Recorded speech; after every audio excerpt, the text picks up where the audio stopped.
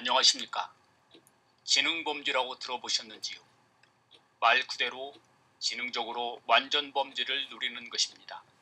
제가 한 가지 예를 들어보겠습니다.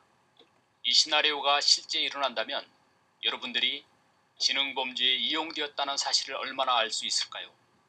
어떤 한 은행에서 비자금을 마련하기 위한 시나리오입니다. 우리가 은행에 예금하면 소정의 이자를 지급받습니다. 그런데 어떻게 이자가 계산되어 입금되는지는 잘 알지 못합니다. 단지 내 계좌에서 이상한 곳으로 출금되지 않고 얼마의 이자가 입금되면 은행을 믿고 지나치는 것이 대부분일 것입니다. 지능범죄자는 이런 심리를 노립니다. 예금주가 눈치채지 못할 이자 계산 알고리즘을 개발하여 이자의 일부를 비자금 계좌에 입금하고 나머지를 예금주에게 입금하도록 하는 것입니다.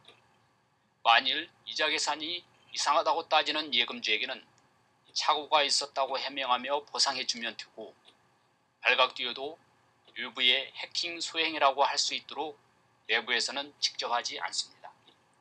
이런 예례는 보안을 위해 극소수의 결정권자와 내부의 시스템 기술자 그리고 일부 전문가가 공모하여 벌이게 될 것입니다.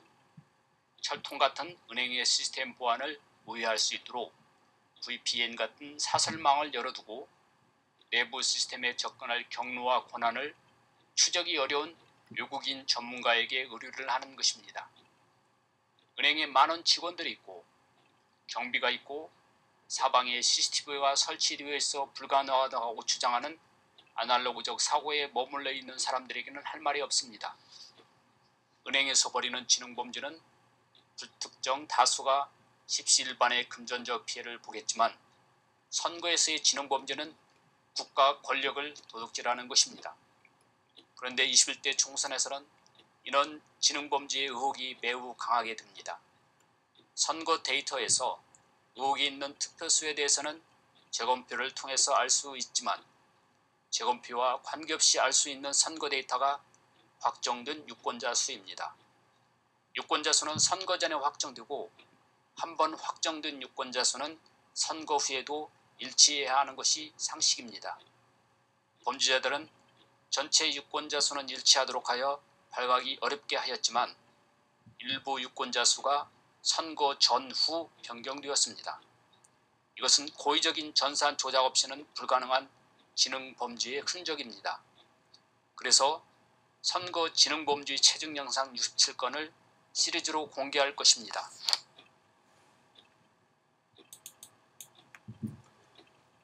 거소 선상투표 유권자 수 불일치 35건의 리스트입니다.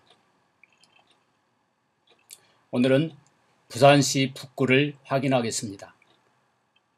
선거 전 확정된 유권자 수 289명, 선거 후 개표 결과의 유권자 수 288명으로 한 명의 차이가 있습니다. 이것을 선관위 선거통계 시스템에서 확인해 보겠습니다.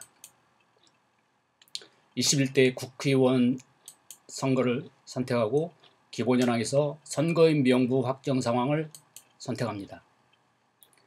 투표 구별에서 부산시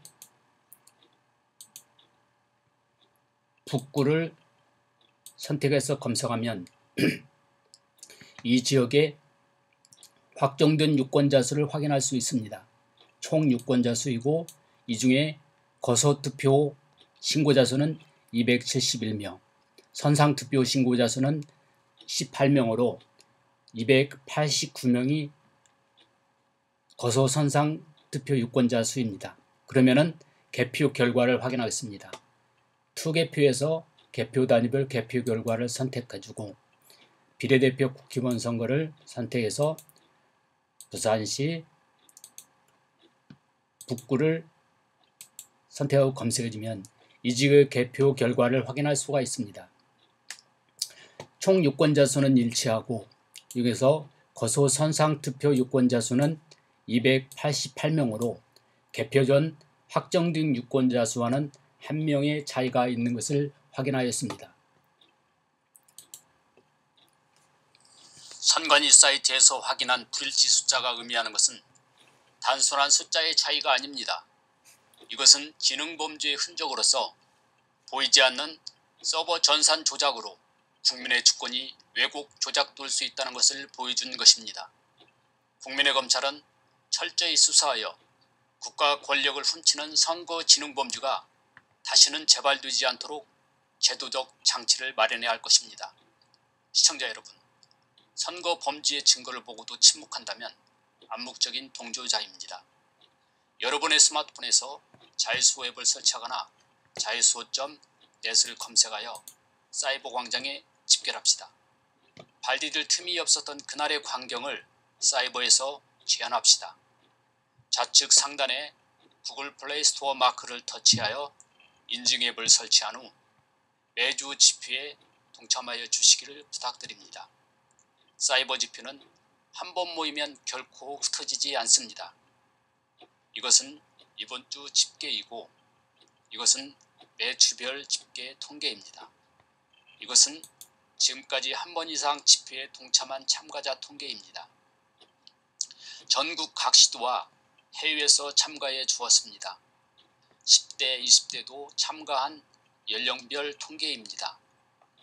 시도 리스트에서 선택하면 253개 선거구별로 참가자를 집계하여 선출 정치인을 견제할 수 있는 자유수호 도구가 될 것입니다. 이 사이트에서는 개인정보를 수집하지 않습니다.